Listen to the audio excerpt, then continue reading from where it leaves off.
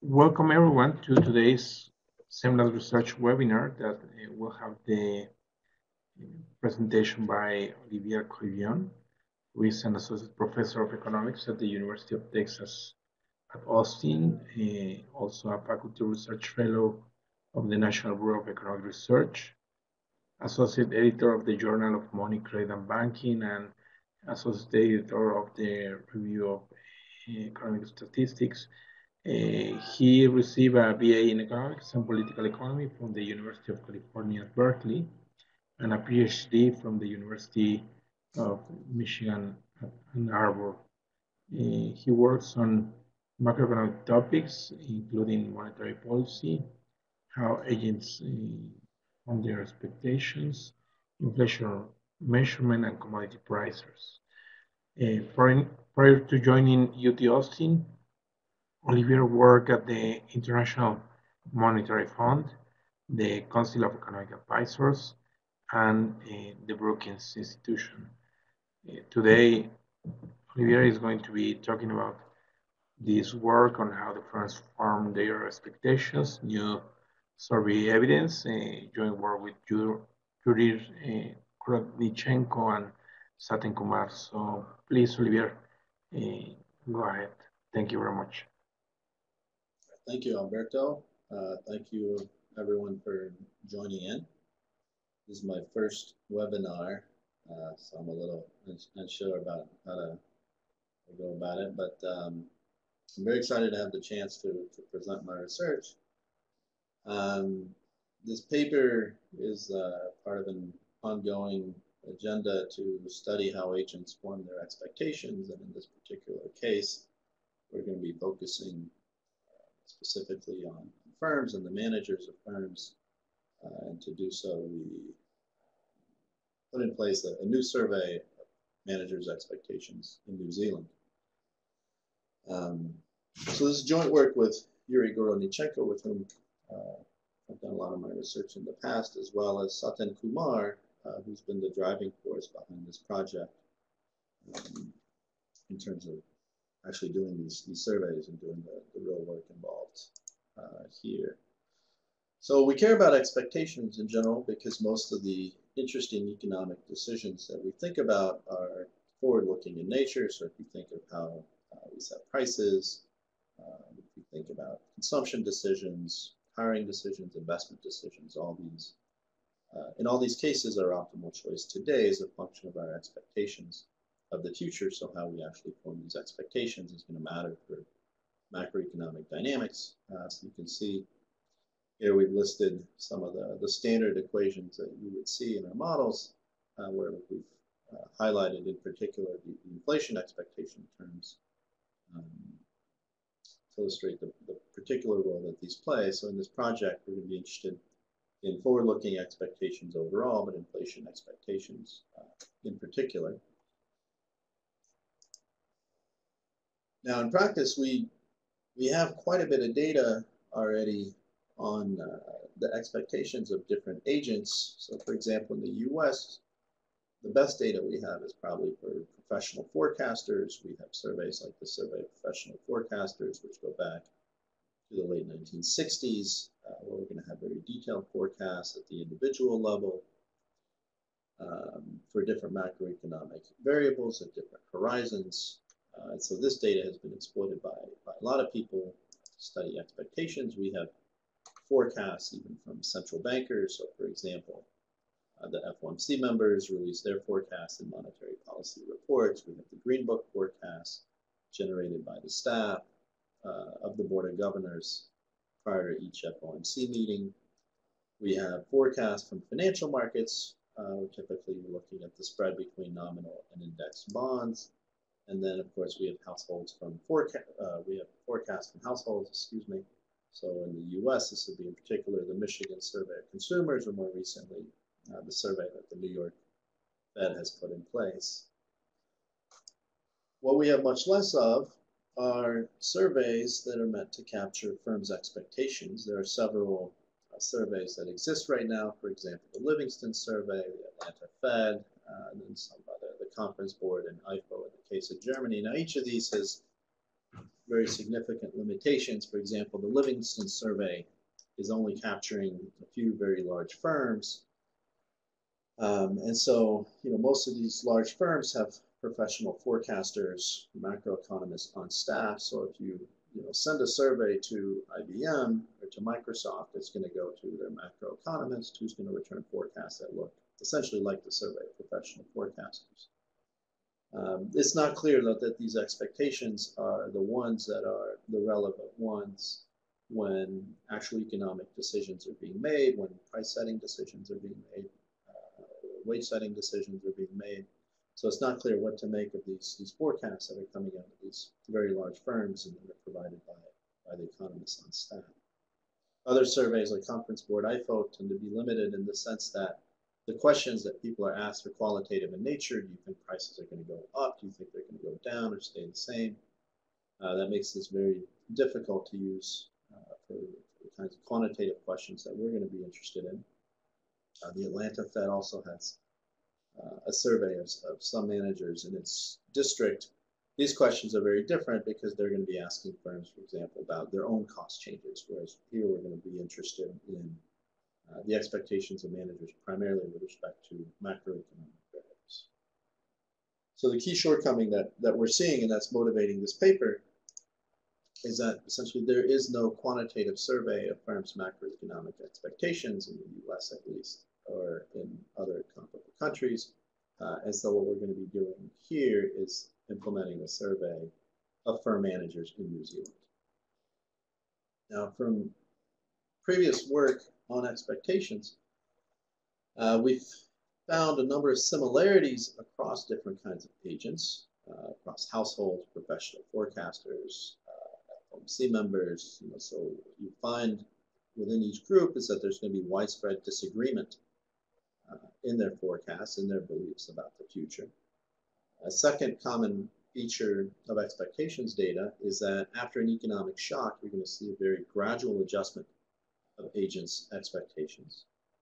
Uh, and so, in general, the assumption of full information, rational expectations is going to tend to be a poor approximation for how these different kinds of agents form their beliefs. So these are the, the common patterns that we find across different kinds of agents.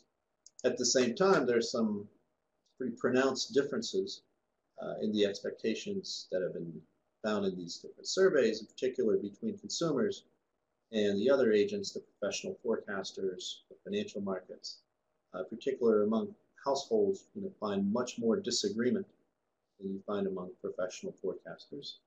Uh, and these, these the inflation expectations of the household appear to be much less anchored than those of the professionals, who are much more volatile, be they short-run expectations or even long-run expectations. So just to illustrate this, here's a time series of the one year ahead inflation expectations of different agents in the US. So the black dotted line are the inflation expectations of professional forecasters from the survey of professional forecasters. Uh, so you can see for the last 15 years, these have hovered around 2% with very little variation. The red dashed line are inflation expectations extracted from asset prices. These are very similar. The blue line represents the inflation expectations of households as measured by the Michigan Survey of Consumers. Uh, historically, uh, so from the 1960s through early 1990s, these have been at least as good at predicting ex post inflation as the other uh, forecasts. But you can see starting in the early 1990s, really big gaps start to arise between these household expectations and the expectations of the professionals. You know, so in the mid 2000s, households were expecting inflation in a neighborhood of 4% on average, while professionals were predicting inflation of 2%. Uh, so the question we're, we're going to be interested in here is, you know, where are firms along the spectrum, uh, both in terms of average expectations as well as other moments, uh, the expectations such as disagreement and so that we can observe. So what we're going to do is implement a new survey of firms. We're going to do this in, in New Zealand, and we're going to try and answer several questions uh, we think are of interest to macroeconomists. And the first is, how attentive are firms or the managers of firms? I'm going to use firms as, as shorthand uh, for speaking about managers. So how attentive are these firms to recent economic conditions? And by that we mean if we ask firms, you know, what do you think inflation has been over the last 12 months, or what do you think the unemployment rate is right now? Uh, we can measure essentially how much attention these agents are paying to variables which you know, they could track fairly easily if they wanted. Um, we're then going to ask why some firms appear to be more inattentive than others. So can we explain the heterogeneity that we're going to observe in attention to recent economic conditions? And then we're going to ask um, how these expectations or how these differences in views about recent economic conditions translate into differences in views about the future. Uh, so if someone thinks inflation has been higher than someone else, are they more likely to think that inflation is going to be high in the future? Can you explain much of the variation in forecasts in terms of the differences in beliefs about recent economic conditions? Um, we're then going to try to study how firms process new macroeconomic information. And this we're going to do using uh, few different experiments where we provide different kinds of information to some firms and we look at how their expectations as well as their actions respond to this information. And then finally, we're going to ask the question of how firms actually go out and try and acquire new economic information. Uh, what type of information do they value? What type of information do they care about for their business decisions? The short answers for all these questions that we get are first, these firms are not going to be very attentive to macroeconomic conditions. This is going to be especially true for inflation. Inflation is going to be unique uh, in several ways that I'll, I'll highlight in terms of uh, how little attention these managers seem to be paying attention to. Um, in terms of explaining the heterogeneity that we observe uh, in the degree of attention to economic conditions, we're going to argue that a lot of this heterogeneity can be explained by rational attention uh, considerations. Um, and then that these differences in attention that firms are displaying to recent economic conditions uh, have profound implications for the differences in their beliefs about the future. So there's going to be a very strong correlation between your beliefs about recent economic conditions and your views about what's going to happen in the future. These differences, beliefs about the past, uh, which is something that we typically ignore in our macro models, uh, really play a role in terms of explaining the variation, the, the cross-sectional heterogeneity in beliefs about the future. Finally, in the context of these experiments where we provide managers with new information, uh, we're going to see that they respond in a very Bayesian manner uh, to the signals that we provide uh, about the economy. And so they're going to respond in, in the ways that our models predict, uh, where these models allow for the possibility of imperfect information. Um, and in addition, that firms are acting on these beliefs. So we're going to show that uh, changes in people's expectations parlay into changes in some of their economic decisions. so this is uh, where we've, we've been doing the, the biggest revisions uh, to this paper, so I apologize for the draft not being updated to reflect um, the most recent results, but we're, we're, just incorporating them now, so I'll have most of these in the presentation. Uh, and in particular, this question of how expectations affect the actions of firms. Um, I'll try and spend some extra time on, on that because this is the new part. And then finally, when thinking about how firms actually seek out new information, we'll show that there seems to be a lot of state dependence in um, the process by which firms uh, go out and seek information, uh, which is something that we, we typically abstract from uh, in our models that, that allow for imperfect information. So this is something that future models will, will need to come to grips with in ways that has not been done so far. So as I mentioned, the survey, the surveys that, that we did uh, are done in New Zealand. Um, New Zealand is a particularly interesting country to focus on when it comes to inflation expectations because it's the original inflation targeting country. You can see in this figure, inflation targeting was introduced or put in place in 1990 after a period of high and volatile inflation. Since then, inflation has been much lower on average. So you can see it's, it's been relatively volatile nonetheless since. Uh, and the first wave of the survey that we implemented towards the tail end of this period uh, when inflation was, was relatively low. Now, with this long history of inflation targeting, you would say, well, New Zealand uh, is likely to be one of the countries with the most well-anchored inflation expectations. Uh, and so this, this makes it a natural place to put in place to, to implement this kind of survey. So let me tell you a little bit about uh, how we actually did these surveys. Um, there's actually, we, we did multiple waves of the survey. So at this point, we have six waves. The first wave was the biggest uh, and included slightly over 3,000 firms uh, in terms that actually responded. Uh, these firms come from uh, all sectors in the economy besides government, mining, and agriculture. Uh, and we excluded the smallest firms, so those with less than six employees. Uh, so the sample is broadly representative of the New Zealand economy, um, although we're also going to be using sampling weights to, to adjust for uh, small deviations from, from uh, the actual composition of firms in the New Zealand economy. The way we did these surveys was we would send the questionnaires to the general managers of these firms ahead of time. Uh, they would then be called on frequently numerous occasions, um, and they would provide their responses to the questionnaires over the phone. Uh, these interviews were recorded, and the responses were then verified by uh, a second person.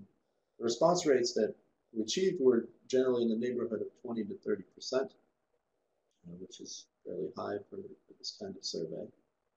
Um, so this first wave was the largest. This was done at the end of 2013 with over 3,000 firms. The next three waves, which were done from 2014 through early 2015, uh, consisted of subsets of the initial 3,000 firms. So for these first four waves, we're going to have a consistent set of firms that are participating over time. It's not always the same firms in wave two and wave three, or wave three and wave four, but waves two through four are all subsets of the firms that participated in wave one. Then with wave five, uh, we contacted a new set of firms as well as a few firms from the previous waves. Um, because in this new wave, we were doing some new experiments. In wave four, we'd done some previous experiments on firms, so we wanted uh, to have much newer batch of firms to provide new information to. And wave six uh, corresponds to a subset of the firms that are in wave five. So wave five, wave five and six are going to go together, uh, and were designed primarily to explore the question of the, of how expectations and inflation expectations in particular affect firms' decisions. And so this is the part that's not in the paper at this stage. So in these surveys, we we ask a lot of questions from the firms, questions not just about uh, macroeconomic expectations, but also questions about the microeconomic expectations. We ask questions about how they set prices, about the nature of the industries that they were in, how many competitors they faced. We ask them questions about their margins, uh, a wide range of questions, um, some of which we, we will be uh, relying on in, in this paper. Yeah, but the questions we're going to focus on uh, the most here are the ones that have to do with, with the macroeconomic expectations. So one of the nice things about doing these, these surveys is you, you get to ask about things that which you don't typically uh, measure in the data that are difficult to measure. So this includes macroeconomic expectations, it includes other things like margins. So we can ask firms about what are their what are the markups that they're charging uh, over cost. Now some of these questions are, are nosy and uh, lead firms to choose not to participate. Um, but we have very few uh, non-responses to specific questions uh, in the survey. So after implementing the first wave of the survey, we spend uh, quite a bit of time trying to assess the quality of the data. So one concern with survey data is always, you know, what is the incentive that these people have to provide truthful answers? Um, and so we did a number of checks which are described in, in, detail in the paper. So for example, in the survey, we asked managers, how old is this firm? So then we could go back and check those answers uh, against administrative data. You know, if we asked them, what is the price of your primary good that you sell, we can go out and check that independently. Um, in the case where we would ask one question, one survey, and essentially the same question in a follow-up survey, we can assess how consistent these responses are over time. Um, so most of these um, checks indicate that the quality of the data is very high, and I'm not going to go into too much detail, uh, except for a couple of a couple of checks we did that I think are interesting in, in their own right, um, and speak directly to expectations questions. Um, so we're not going to be able to assess independently how good their responses are when we ask them, what do you think inflation is going to be over the next 12 months? But we can ask them other expectations questions, um, which we can then check later. So for example, in the first wave of the survey, we asked firms when they expected to change their prices next. Okay, so they could give an answer, well, next month, in six months, in 12 months. Uh, and so in the figure here, the blue bars indicate the distribution of firms' responses about how many months it would be before they expected to change their price next. You can see these are um, concentrated around three months and six months, uh, but there's quite a quite a bit of range uh, across that. And then what we did is in the follow-up survey, which was done between four and six months later, uh, we asked firms about their prices at that point, and so therefore we could assess whether firms had actually changed prices, you know, within the, the months that they said they would, or whether, you know, they they'd said that they weren't going to change prices, whether it was indeed the case that they hadn't changed prices. And so what you can see from the, the red and the black lines is the fraction of firms within each predicted duration uh, that had changed prices uh, by the time we did the follow-up survey. So for example, if you look at you know, one to two months, uh, the, of those firms who said we were going to change our price within the next month or two, basically 90 to 95% of those firms at the time of the follow-up survey had indeed changed their prices as they expected to. You go out to the longer durations, those firms who said we don't expect to change our price for seven, eight, nine months, and by the time we did the follow-up survey, none of those firms uh, effectively had changed their prices. I suggest that at least when these firms are giving us answers about the expected duration before the next price change, right, this forward-looking question, uh, they're giving us uh, answers that, that turn out to be quite good on average. A second check we can do is we ask firms, again in this, in this main survey, the first wave, not only when do you expect to change your price, but by how much do you expect to change your price when you do? So then when we did the follow-up survey, given that we observed the prices at that point and the prices initially, we can see by how much they actually changed their prices over this time period. And so what the scatter plot shows is for those firms who expected to change their price over the next uh, four to five months. So by the time that we were going to do the follow-up survey, the horizontal axis shows you what they were predicting they were going to do with their prices, and the vertical axis shows you what they actually did with their prices. And what jumps out from this figure is how good those ex ante predictions actually were. Now, you wouldn't expect these to be perfect since, you know, if there's shocks that happen between the two surveys, then ex post firms may, will make decisions different from their expectations. Um, at least this figure suggests that the expectations answers that they're giving us uh, are very much in line with what they end up doing later. They seem to be relatively high quality, which hopefully suggests that the expectations with respect to macroeconomic conditions are also high quality uh, information that we at. So the first thing we do in this paper is look at uh, attention or inattention to recent economic conditions by these firms.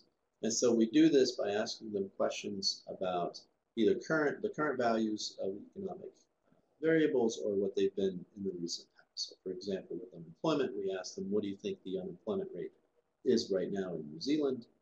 Or for prices, we can ask them, how much do you think prices have changed over the last 12 months? Give us a percentage answer. And we can do this for a number of different macroeconomic variables. So then, since we know what those values turned out to be, we can construct a measure of the backcast error, which is the difference between the actual value and what the firms thought they were.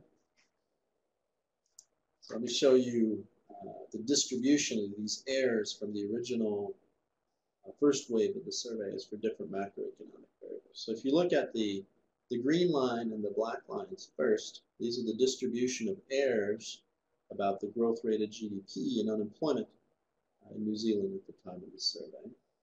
The first thing to note is these are centered pretty close to zero. So on average, these agents were uh, correct about what the growth rate of GDP had been, about what the unemployment rate was. You can see there's quite a bit of variation uh, in the answers that they gave, so there seems to be uh, a lot of differences in views about what these recent values actually were. If we, when we ask managers, what do you think has happened to prices in your industry? And then we, because we know which industry they're in, we can construct the errors they made about inflation within their industry. That's the red line here in terms of the distribution of the errors that we get. You can see that's also centered around zero. So firms on average know what's happening to prices in their industry. Uh, although again, um, there's there's quite a bit of disagreement even even within that. And then the blue line are the errors that you get for inflation over the last 12 months. So you can see this distribution is quite different from the other ones. Um, there's much more disagreement than there is about the other variables. And that disagreement is also asymmetric. Uh, so all of the managers were effectively overestimating the rate at which prices were changing over the last 12 months within our sample.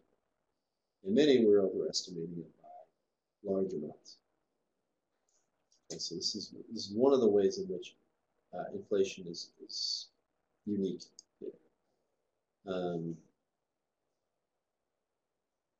so we seem to observe a lot of inattention to macroeconomic variables, uh, in particular to inflation. We can ask, you know, is there correlation in the attention that firms are paying to macroeconomic variables overall. So in other words, if a firm is making big errors about inflation, does it tend to make bigger errors about unemployment, interest rates, and so on? The answer is, is yes. Uh, so we can, do, we can assess this by regressing the errors that you make about one macroeconomic variable the inflation errors that you're making. Uh, we find fairly strong correlations across these things. So there's a sense in which uh, there is a broad inattention to macroeconomic conditions overall. Um, even though the, the inattention to inflation uh, is particularly pronounced. There's also a lot of heterogeneity uh, in this inattention, particularly when we look across industries. So we found this figure to be particularly striking. So this is, again, the, the distribution of errors about recent inflation that firms were making at the time of the first survey, uh, broken down by industry. So the black and red lines are firms that are in manufacturing, in wholesale trade, and retail trade. And you can see most of these firms made relatively small errors about recent inflation dynamics. So most of these people were saying you know, inflation was 1%, 2%, 3%. And then there's you know, a relatively small tail of, of these managers who are making big errors. Instead, the source of the big inflation errors that we're observing in our surveys are coming from firms primarily that are in the professional and financial services sectors. So this is accountants, engineers, bankers, etc. Within our data, these are the agents that are actually making the biggest errors about the recent uh, inflation dynamics.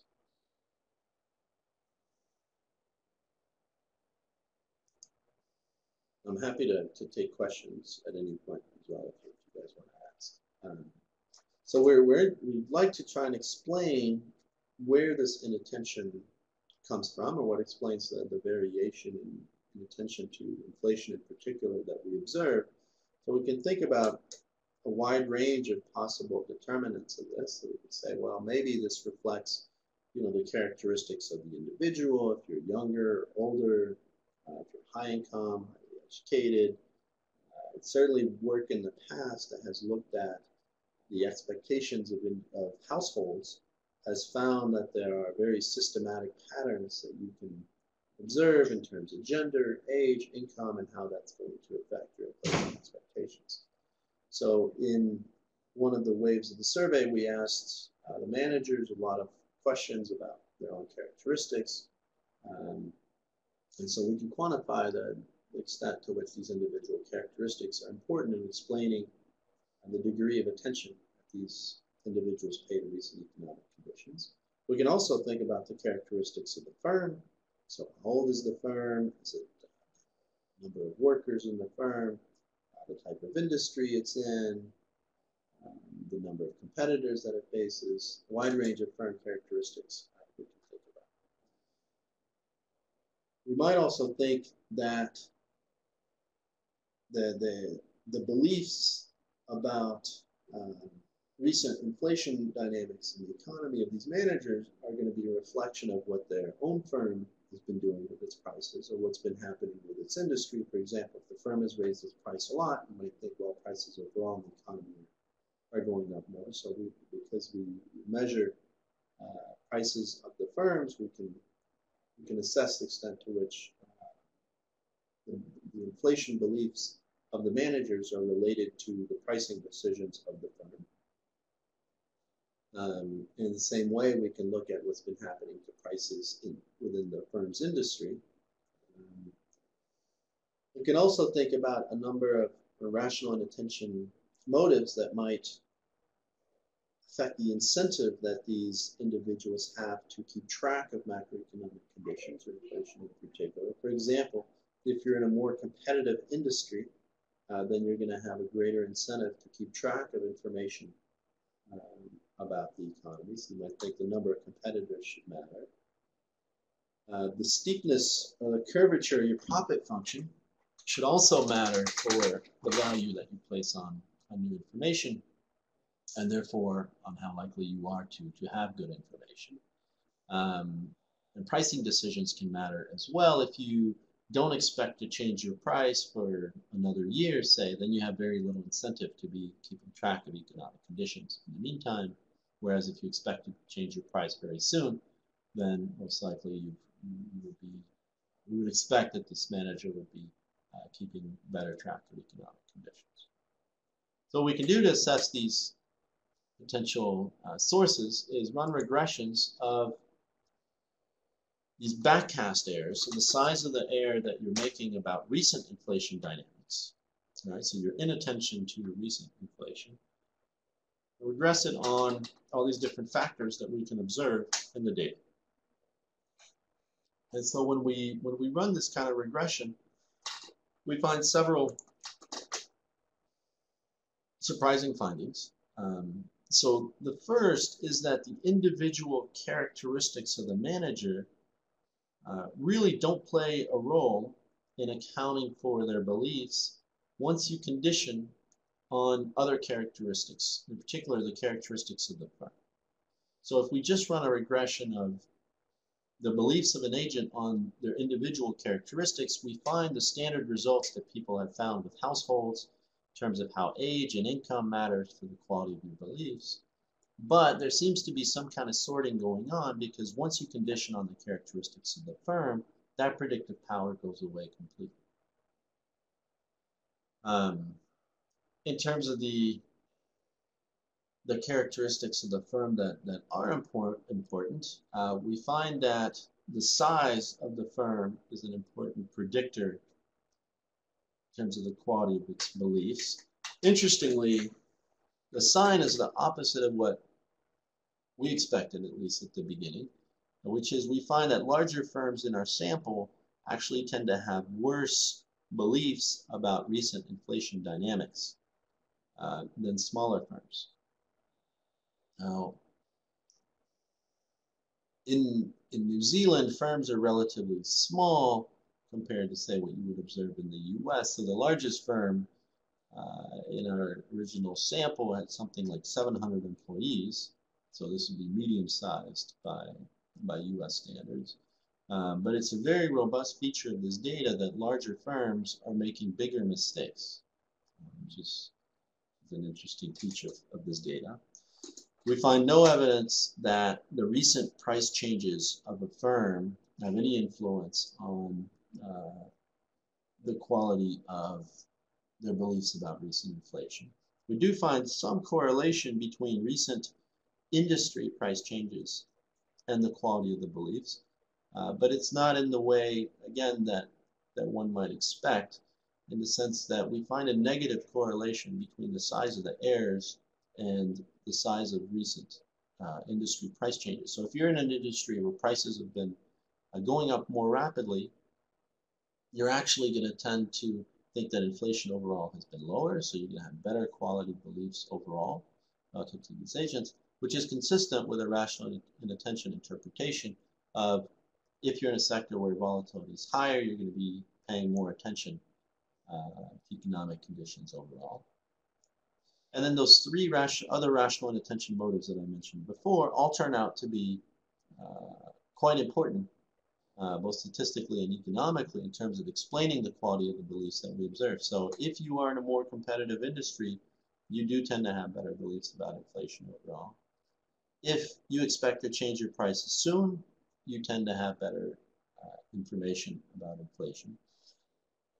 And if your profit function is very flat, you have very little incentive to acquire new information, and your uh, the quality of your beliefs tends to be worse as well. So all three of these predictions uh, we find support for in our data. Now we can also try and get at the question of how economically significant uh, these deviations from full information rational expectations might be.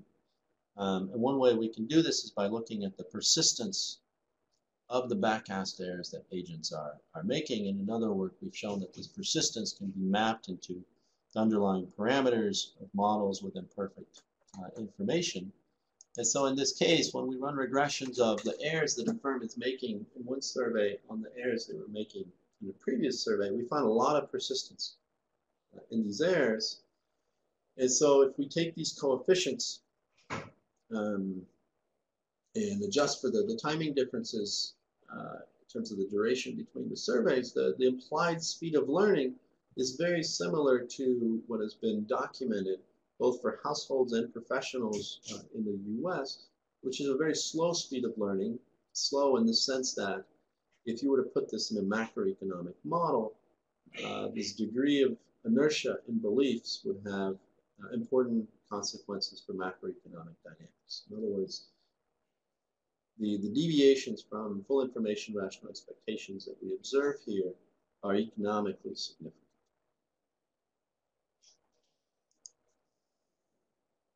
Okay, so at this point, we can say, all right, we, we find a lot of inattention to recent economic conditions on the part of these managers. This is particularly true for aggregate inflation, uh, this inattention tends to be correlated across variables. It's highly persistent, and the heterogeneity that we observe is consistent with rational inattention motives. In other words, firms are going to be paying more attention when it's uh, worth their time to do so. So what we'd like to do now is turn to firms' beliefs about the future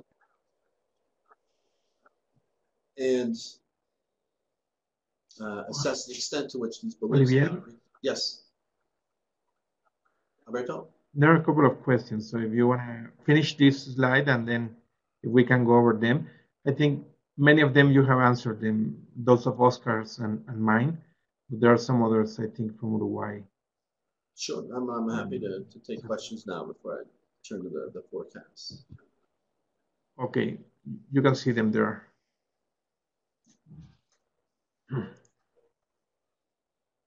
Oh, I'm sorry. I was looking. I had the wrong uh, the wrong chat open.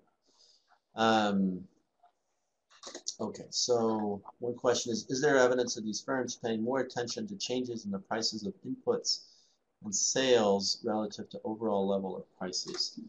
Um, so what we see is that these firms uh, tend to be paying more attention to the prices in their industries, in their industry, rather than to the overall level of prices. So there's a lot less inattention in terms of what's happening uh, in your sector than to overall prices. Um, we don't have information specifically about the prices of their inputs um, and whether they're, they're observing. Oh, the, the industry the industry level evidence that you show gives gives some ideas of this, no?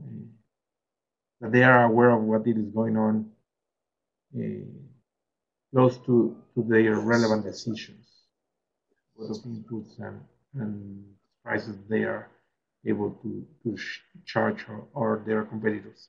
I think Oscar uh, also asked this and it was already answered about the expectations being of the firm and not of the managers. You control for that. So I think managers' characteristics turn out to be not relevant, but uh, Uruguay is mentioning about their experience. And I don't know if uh, they want to say more uh, because they're in BCU. Uh, if, if you want to take a look at what they wrote. There's a more detail when there has to make a big decision. So, yes, we, we find the same thing um, with respect to prices. We don't have information specifically about wage setting decisions, but we do find that you know, if a firm expects to change its price soon, uh, going to be more informed about recent inflation dynamics than a firm that does not expect to change its price for an extended period of time. Uh, so we, we, we, do we do find that uh, that same result here. Um, I'm not sure what the question, what is the firm as informant here means exactly? Uh, Oscar said that uh, something that you said uh, when you were explaining the, the regressions already answered the question. And I was wondering if there are differences in, in the way in which uh, the macro indicators are communicated to the public. That because it is, it is very puzzling why they might have better forecast of unemployment than of inflation. No, uh, given that inflation, I guess, it is reported on a on a more frequent basis than unemployment and GDP. Growth. Yeah. So late, later in, in, in, the in the presentation, I'll, I'll show you some results on uh, how firms seem to value information about different macroeconomic variables differently. So what, what seems to happen is a lot of the firms will argue that inflation is less important to their economic decisions than unemployment or GDP growth. And for these firms that say inflation is not important to them, they're then going to say that they do not track inflation very closely. And sure enough, if you look at their beliefs, these firms are going to tend to have much worse beliefs about inflation than other firms who say inflation is important to their business decisions. So it's true that the information, uh, the ease with which you can observe GDP or inflation is pretty similar. What seems to matter is uh, the return to accessing this information from the firm's point of view, that if they view inflation as not being particularly relevant or important, uh, for the decisions that they're taking at that moment in time, then they're just going to choose not to follow it very closely. Okay. Thank you. So uh, just, just make sure that you have the everyone chat uh, open. Yes. So yeah. Yeah. Sorry. Because I guess I you have the one with Alfonsina. Okay. uh, thank you very much. And if there are further questions, uh, feel free to write them in the chat window. I'm going to uh, clean it now so that we, we are gets noticed when. Okay, so in that case, let me let me turn to the the forecasts uh, that these agents are are, are making. Um, so at the time of the first survey, so this was in the fourth quarter of 2013, inflation in New Zealand was running at one and a half percent. Uh, and so in this table, you can see the forecast that other agents in New Zealand were making. So the central bank was predicting that inflation over the next 12 months would be 1.3%. Professional forecasters uh, were predicting an inflation rate of 2% over the next 12 months. Uh, we're also reporting the standard deviation of the forecasts. Uh, the so this is the cross-sectional standard deviation of forecasts. The amount of disagreement among professional forecasters. You can see it's very small. And I said if you ask professional forecasters what's going to be, they're going to say 2%, 2.1, 2.2, but very little variation in, in those forecasts. And the Reserve Bank in New Zealand also runs a runs a survey of households in New Zealand, particularly to ask them about their inflation expectations. And at the time in the survey, uh, the average forecast among households was 3.4%. Right, so the same gap that that gap that we observed between the beliefs of households and professionals in the U.S. during this time period, we can observe basically the same qualitative gap between households and professionals in New Zealand. Uh, and the dispersion in the forecasts of, of the households is also an order of magnitude larger uh, than you observe. For professionals, again, this is comparable to what you observe in the U.S. when you look at the Michigan survey consumers.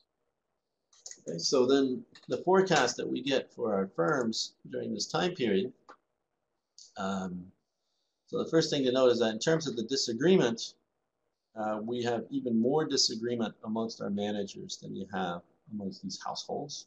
And so the, the order of magnitude of the disagreement is in the same neighborhood as, as households and much higher than professional forecasters. In terms of the point estimates, the average forecast that we had uh, at the time was 5% inflation over the next 12 months. So well above uh, anything that the professional forecasters uh, were displaying, which suggests that uh, inflation expectations among these, these managers were not well anchored um, by this, this, this metric of, of what anchored inflation expectations look like.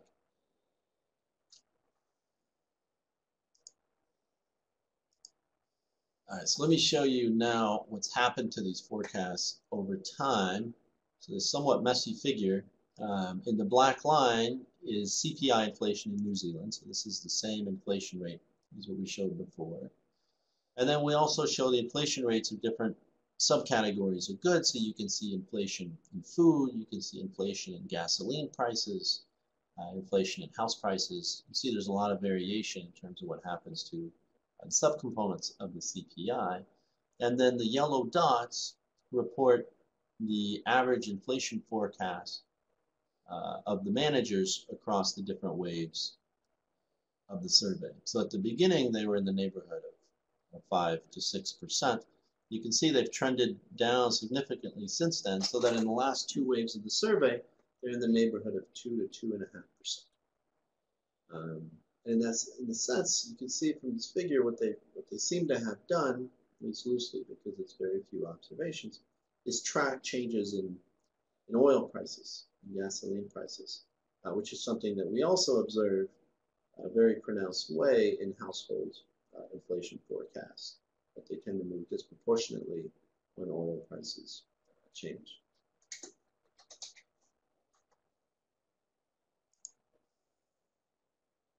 Now here we're reporting forecasts of these managers with respect to other macroeconomic variables, so the unemployment rate in 12 months, the growth rate of GDP in 12 months, and the change in interest rates over the next 12 months. And here there's two takeaways that you should get. The first is in terms of the mean forecast, exactly as was the case with the backcast, you can see the average forecast of the firm managers for unemployment, for the growth rate of GDP, for interest rate changes, is very similar to what professionals are predicting. Okay, so on average, they're making the same uh, predictions with respect to these variables. There's no pronounced asymmetry uh, that you can see here. However, the amount of disagreement, as was the case with inflation, is much larger amongst the managers uh, than was the case with the professional forecasters. Okay, so we continue to see this very large amount of disagreement. Um, but the bias uh, is something that we only observe for inflation. Okay, so we'd like to know the extent to which uh, the beliefs, the forecasts of a manager are related to their beliefs about recent uh, you know, price or output dynamics. And we're going to assess this by running regressions of the forecast of these agents on their. That's in this equation. And when you do this, you can do it for different variables. Uh, you can do it pulled across waves with fixed effect. What we find in, in all cases is that there's a very strong correlation between the beliefs of an agent about the future and what they think has been happening in the past. So if you think inflation has been relatively high, then you're very likely to be predicting that inflation will continue to be high in the future. If you think the economy has been growing more rapidly than someone else, then you're more likely to be optimistic uh, about the future growth rate of GDP as well. So there's a very strong correlation between these differences in beliefs about the recent past and the differences in beliefs that we observe about the future. And the same forces that we observe as being important drivers of inattention to recent economic conditions, uh, surprisingly, are also very strong predictors uh, about your beliefs about the future. So, for example, these three rational inattention forces that we talked about before, the amount of time before your next pricing adjustment, the number of competitors, or your curvature, the profit function, uh, are both closely linked to your average belief about recent inflation. So here this is the, the horizontal axis, as well as your average belief about future inflation. So what we do in this figure is we take groups and, and we break them uh, into different uh, subgroups based on either when they expect to change their prices next or how many competitors they have or the curvature of the profit function. And then for each group, we report their average belief about recent inflation and their recent and their average forecast of future inflation. All right, so what this says, for example, is if you're one of the firms that expect to change your prices in the next three months, on average, these firms think inflation has been running at about 4% and expect inflation to be about 5.5 to 6% over the next 12 months. But if you look at firms who don't expect to change their prices for more than a year, their expectations of both recent inflation and future inflation are about twice as large.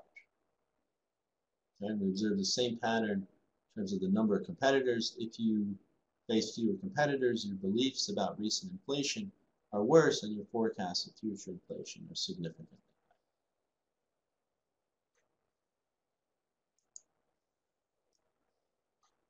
Now, those those three categories are seem to be invariant to time. Nonetheless, there there seems to be uh, learning that happens uh, over time. So firms are not uh, unchanging in terms of the degree of attention that they're paying to, to economic conditions. One way to see this is we take the firms in the first wave and we break them into two groups.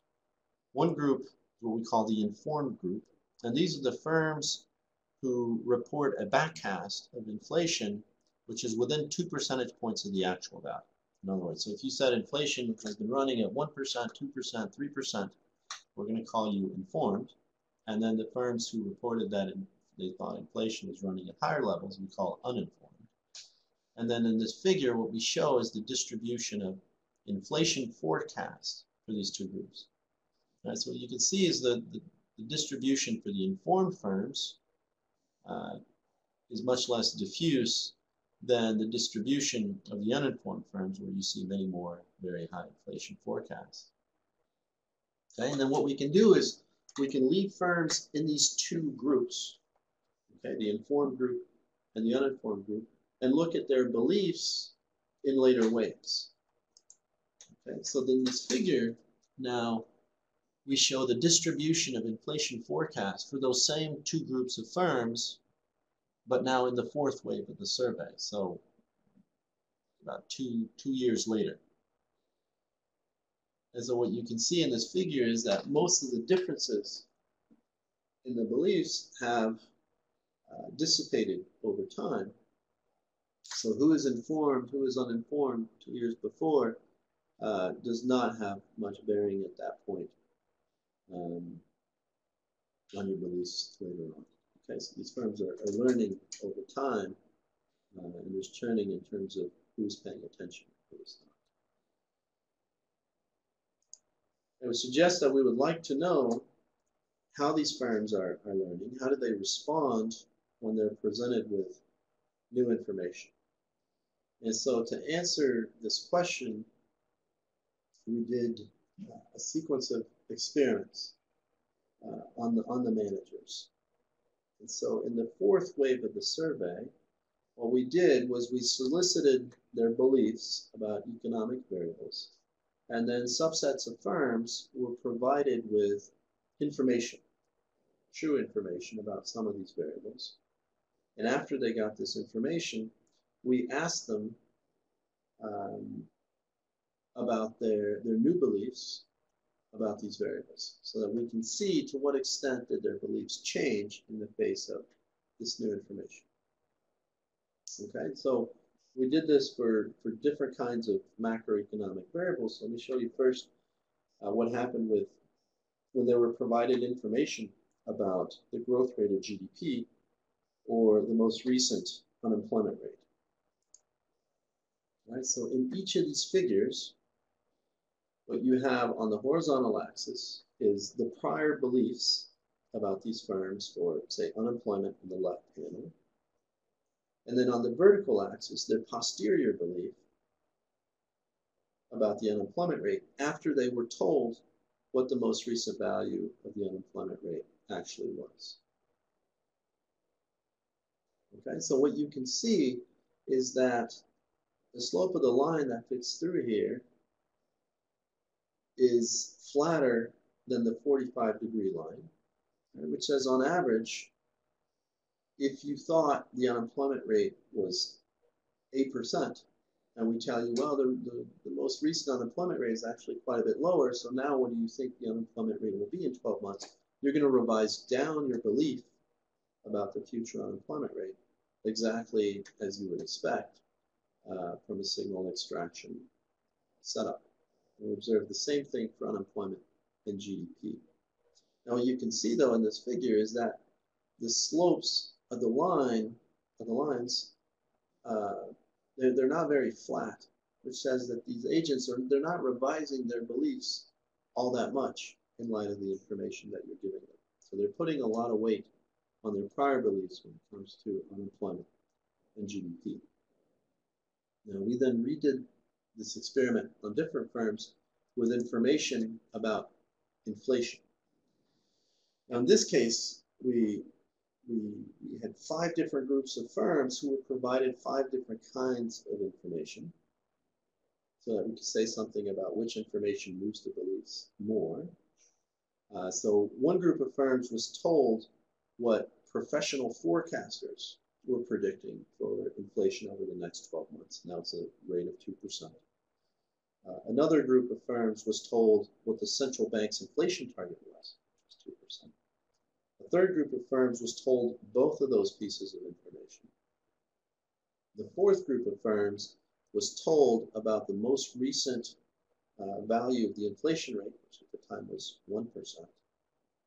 And the fifth group was told that other firms in the survey were predicting an inflation rate of 4.9%.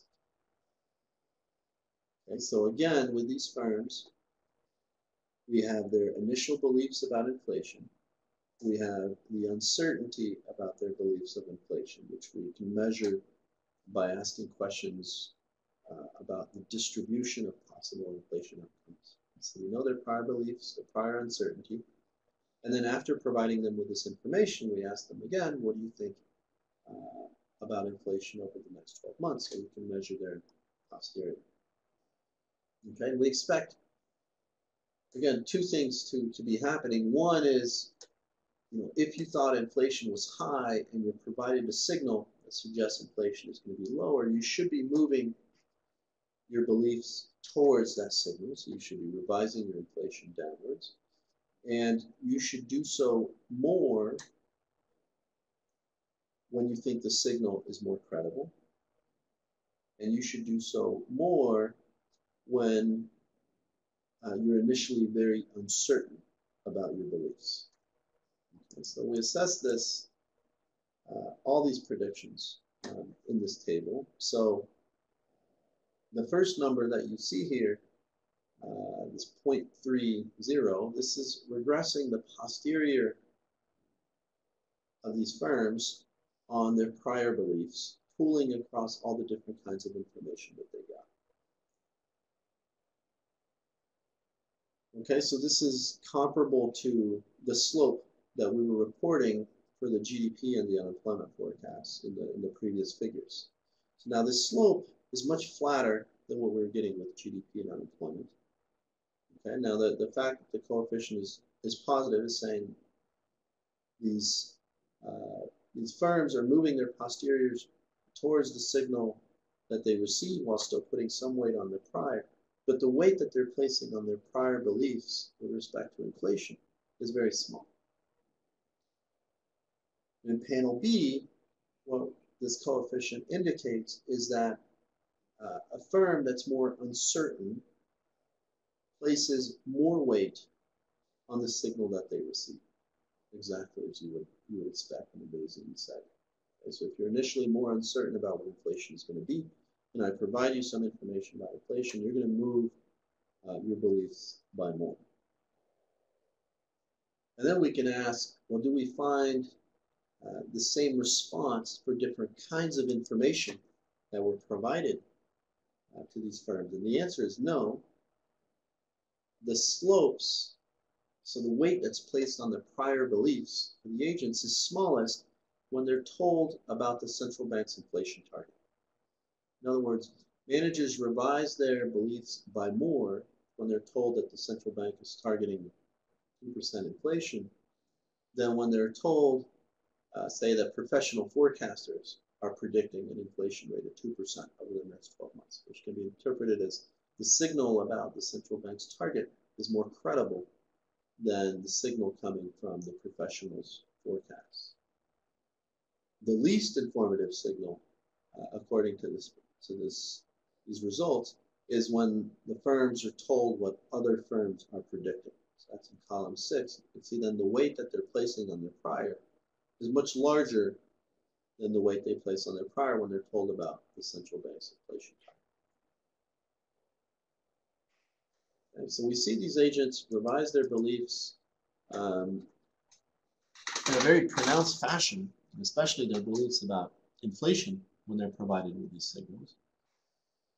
So then what we would like to then answer is when you're presented with this information which changes your beliefs, does it actually have any impact on your decisions? So do firms respond in any economic way to changes in their beliefs about inflation in particular?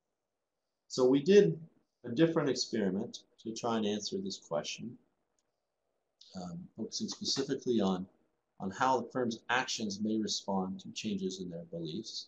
Uh, we tried to do this in a causal way, building on this previous experiment.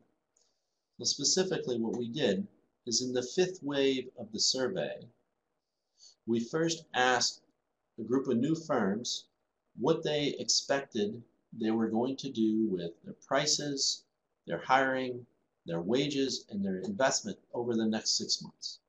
Okay, so we have an initial uh, plan for each of these firms and what they're going to do with these variables.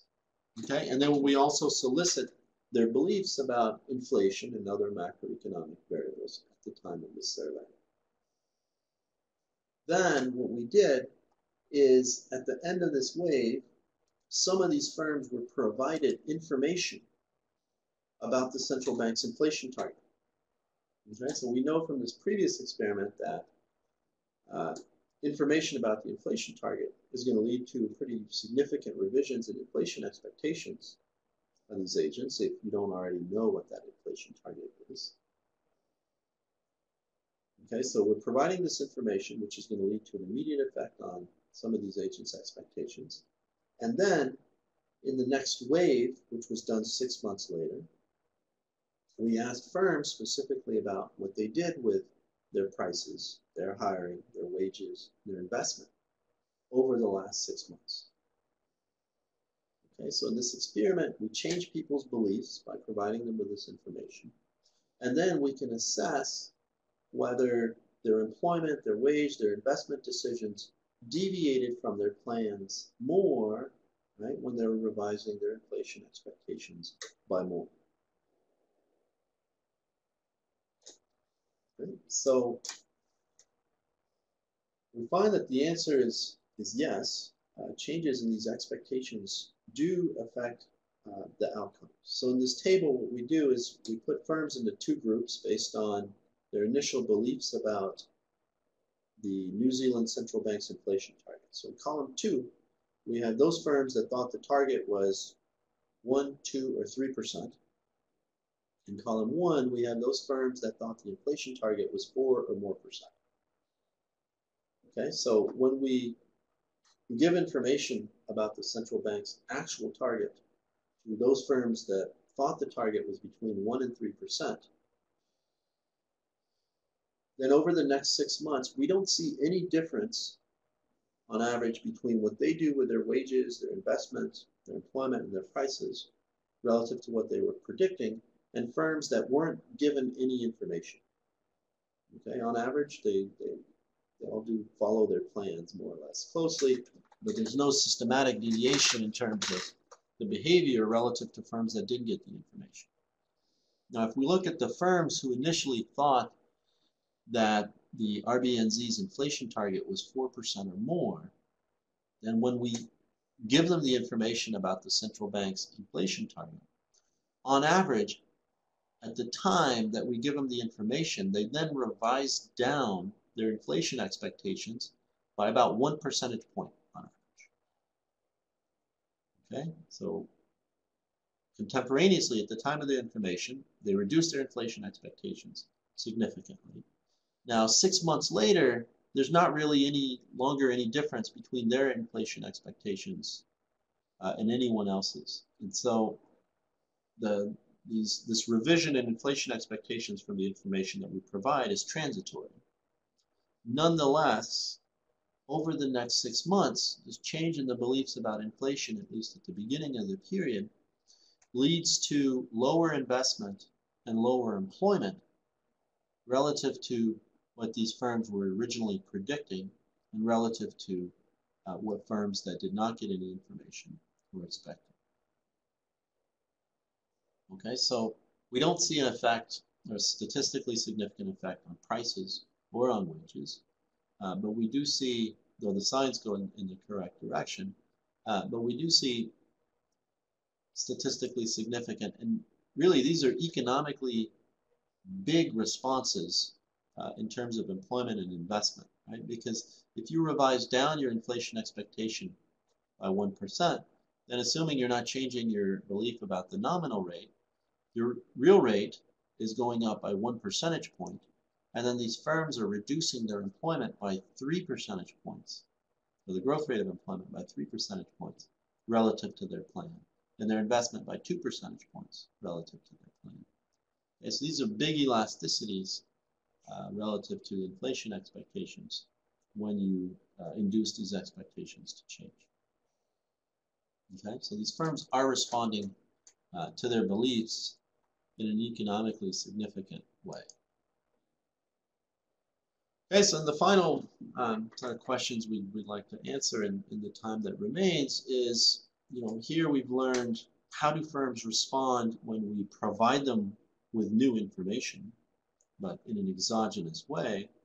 Uh, what we'd like to know is, well, how do firms actually go out and acquire new information on their own? What kind of information are they looking for and why? So we did a number of things here, and these are somewhat more qualitative in, in nature than, than what we've done before. Um, so first, as I mentioned before, we asked managers to tell us how to rank uh, unemployment, GDP, and inflation in terms of how important these different variables were to them in terms of their business decisions. Okay, so what we find is, first, about half of the firms say inflation is the least important variable out of these three for, their, business decisions. Okay, so they should, they should care more about GDP and they care more about unemployment on average than they care about inflation. And then what we find is that firms which rank one variable higher, so if you say unemployment is your, the most important variable, then you tend to have better information about recent unemployment dynamics than other firms. And you also tend to have less uncertainty in your forecast about that variable, as you would expect. It would suggest that a lot of the, the quality of the beliefs uh, that these firms have over different macroeconomic variables reflects how important they think uh, these variables are to their decisions. And then in a very similar uh, spirit, we then ask firms, well, which variables do you actually track? And so this table uh, reports the, the different kinds of answers that we get. So for example, 22% of firms report that they track inflation, unemployment, and GDP.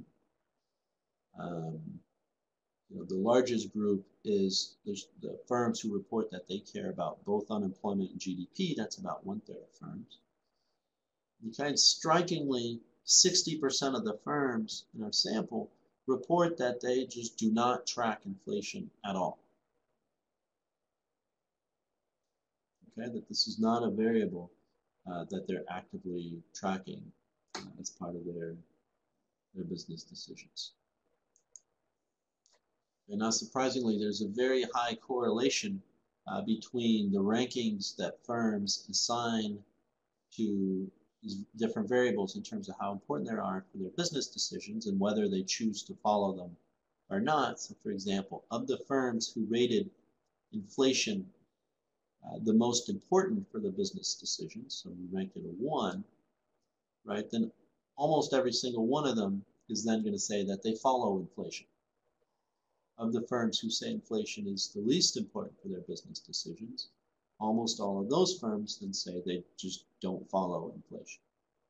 Okay? And even amongst the firms who report inflation as the second most important variable, the vast majority of those firms also then say that they don't report, that they don't follow inflation.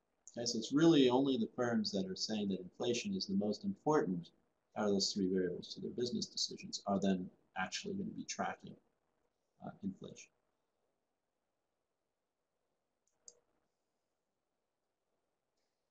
Okay, just as with um, the results that we had with those firms who say if a variable is more important to their business decisions, they tend to have better beliefs. We observe large differences uh, in terms of the quality of the beliefs based on whether these firms report that they follow or don't follow a variable. So if they say that they follow inflation, the average backcast error that we observe is one percentage point, whereas those firms that don't follow inflation, the average backcast error is five percentage points. There are also big differences in terms then of their forecast as well as the uncertainty that they report in their forecast. So if you follow inflation, you display less uncertainty in your forecast uh, than if you say that you don't follow.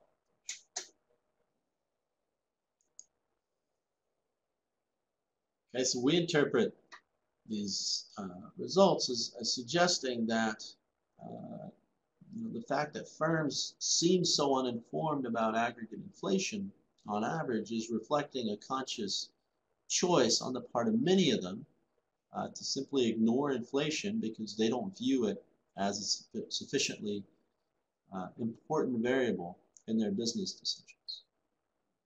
Now, the generality of this result is probably somewhat limited, right, in the sense that this is New Zealand uh, this is a country where inflation has been low and has been stable for an extended period of time.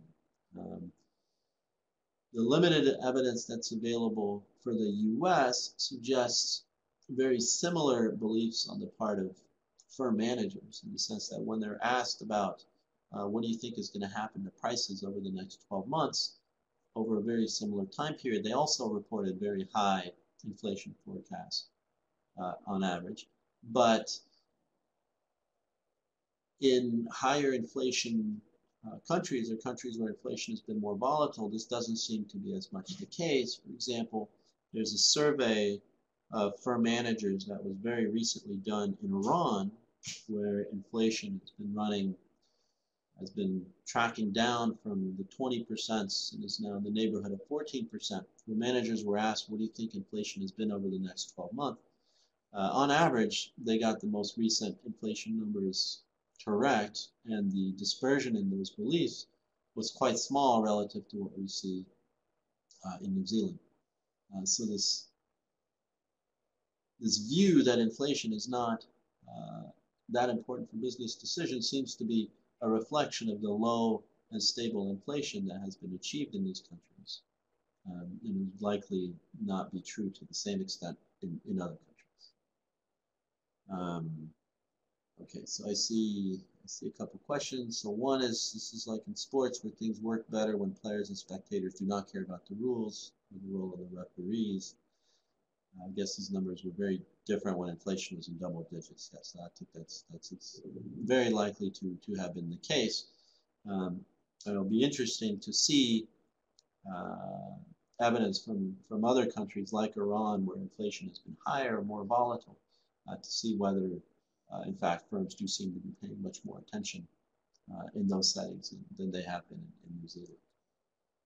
Um,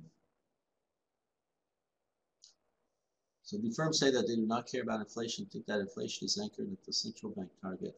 Um,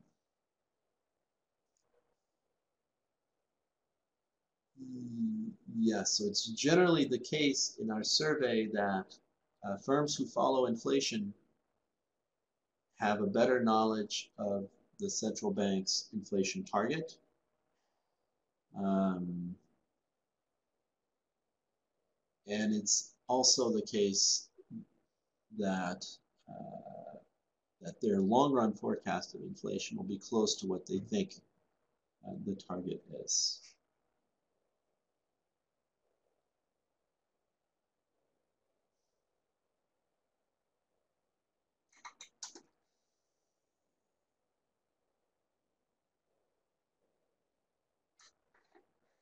The comment is maybe I do not care about inflation because I think it is uh, taken care of. Um,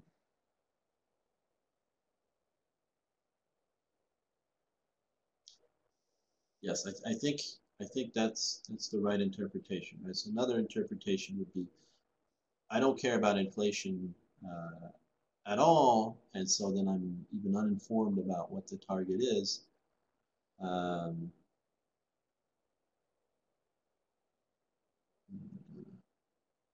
Um, no, so that's that's not quite right. Uh, so the more the more informed firms about inflation overall are also better informed about what the target is. Um, so the less informed ones are also less informed about uh, the target. So I, I, don't know that we would say that the, their expectations are particularly anchored uh, per se.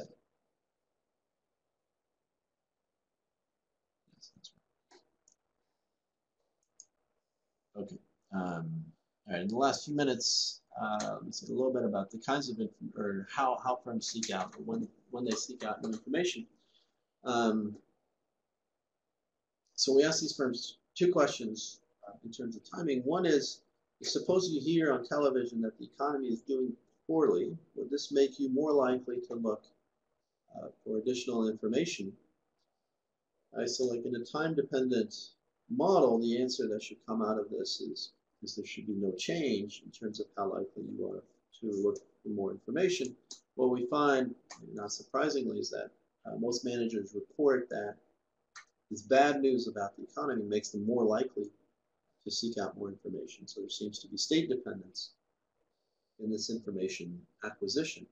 Uh, but it's asymmetric information uh, asymmetric information, state dependence, in the sense that if you ask them the flip side of that question, so suppose you hear that the economy is doing well, does this make you more likely to look for more information? The answer for most firms is no. This makes you actually less likely uh, to look for more information. Okay, so good news tells you that you can you can fly blind for a while. Bad news tells you that you should go out uh, and try and collect more information. Uh, so there's an asymmetry in the state dependence of the information acquisition process.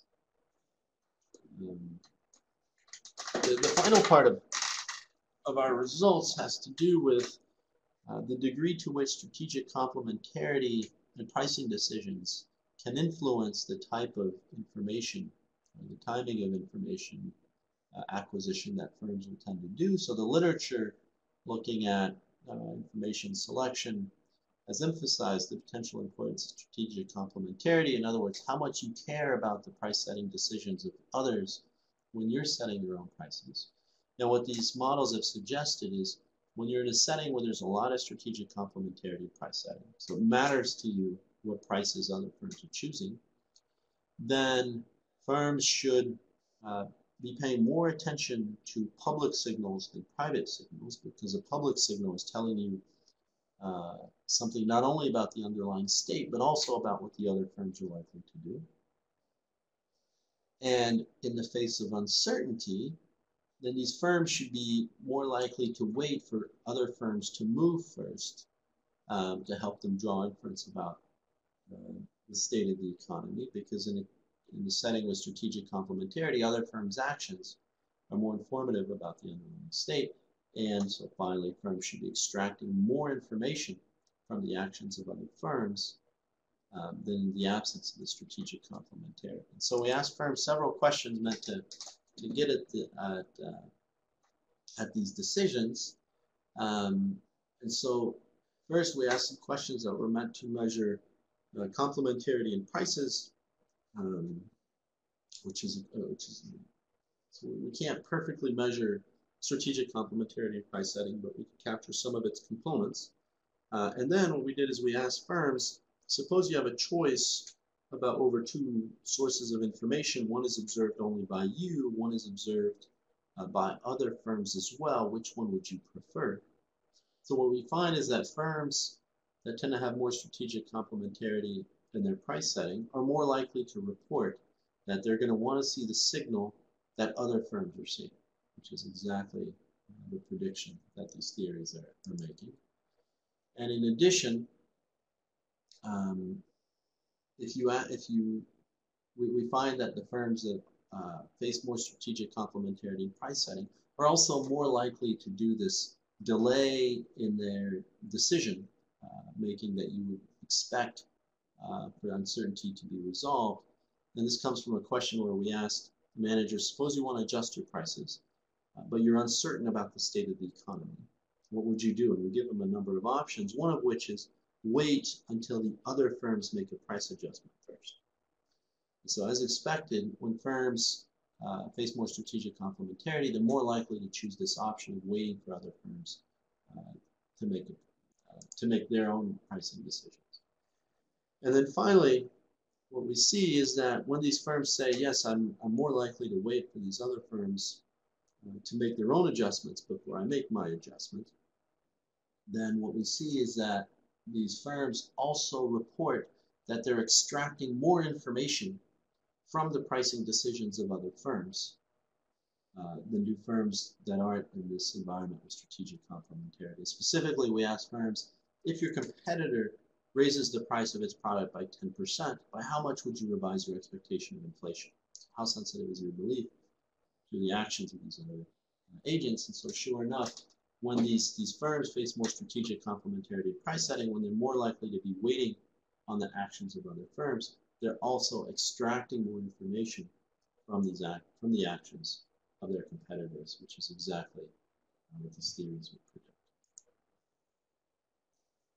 And so to, to summarize, what we find from these surveys is uh, pervasive evidence of inattention on the part of managers to recent economic conditions. Uh, this is particularly true for, for inflation.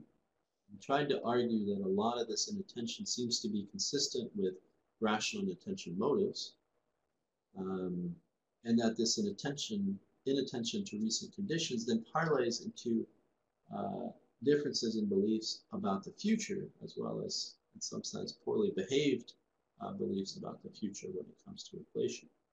Now, when you present firms with new information, they respond in the typical Bayesian manner in terms of their beliefs, and these changes in their beliefs do have an effect in terms of their actual decisions. Okay, so firms are responding to their beliefs about inflation. Um, the way they go out and acquire information is state dependent. It's particularly sensitive to bad news. And it depends, it seems to depend to a large extent on how much they value information about these different macroeconomic variables.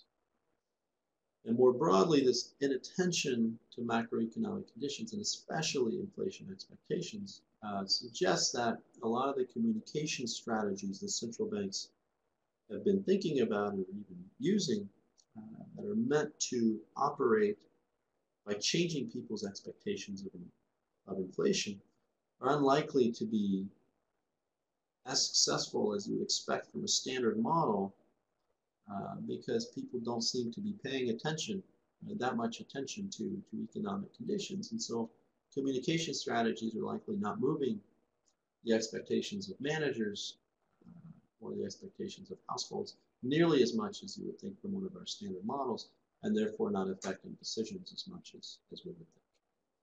Um, again, thank you very much for, for the opportunity to, to present uh, my research here today. I'm, I'm happy to take any more questions if, if there are more. I enable everyone's microphone, so uh, you can feel free to enable it if you if you, you want. So you mentioned that you you are working on uh, parallel surveys uh, at other countries apart from from Iran. Uh, are you analyzing uh, other countries, Olivier?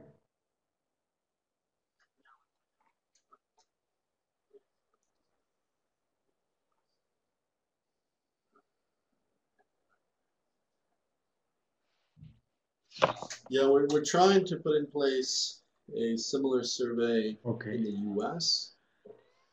Um, and then I, I have a student who's uh, who's been who put in place the survey. And the survey is available. Uh, um, I, I remember that at the end of the, a similar the paper there were place in other countries as well. some sample questions. Uh, so those are in general because you have there the different waves.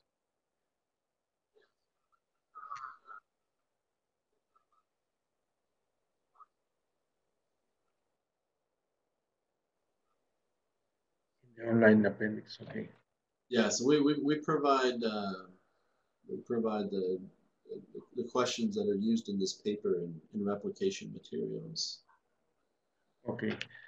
Yeah, so it's it's not and and the different waves have been keeping questions uh, in the process of adding now. core of questions, but you have been adding different aspects that you you realize that would be important to measure. Is that right?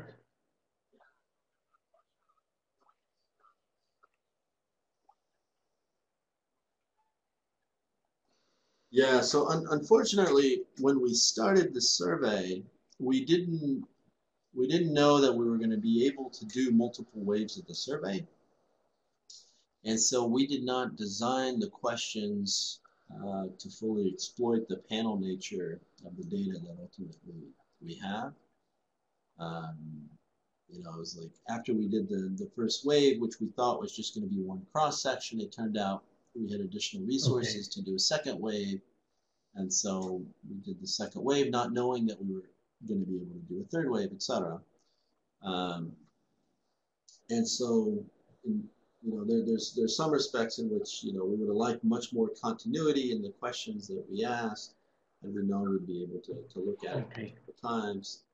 Um, I don't know if uh, anyone else uh, do have questions, I guess uh, there will be some other opportunities to talk with the with Olivier in the in the coming months. Mm.